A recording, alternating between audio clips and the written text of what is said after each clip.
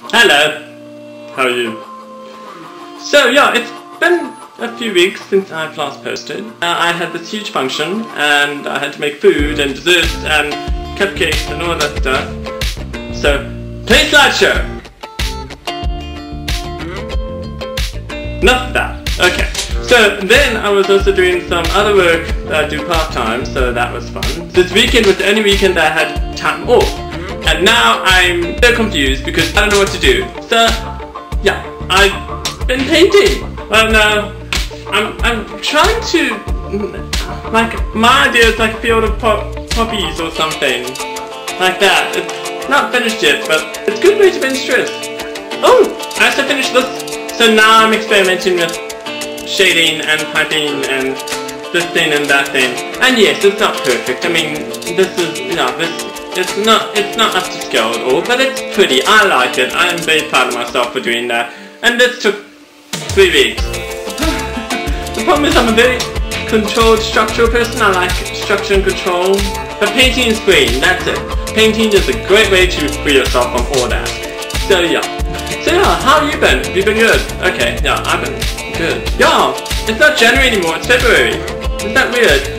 So, interesting, Valentine's Day is coming up. Actually, yeah, it's the 1st of February today, so whenever you see this, you'll see this, and then it will still be February, but hopefully it will still kind of be February. Speaking of February, it it doesn't make sense to me because it's like it's a, a dedicated one day that you have to be nice to someone. What's confusing to me is why can't you be nice to someone all the time?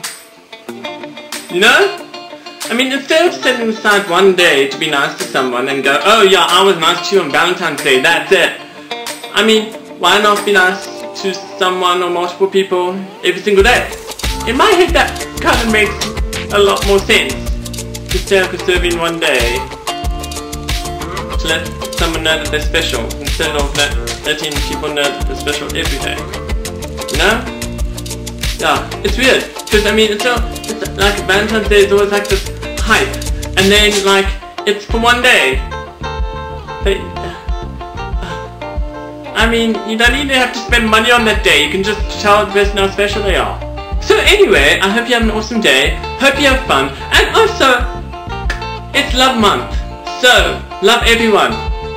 Let someone know that you appreciate them. Let someone know that you love them. Let someone or multiple people know that you care. Because you don't have to spend money to actually let someone know that you care and you worry and you're concerned and this and that and that. Can just go to someone and say, hi, I care. Here's a hug.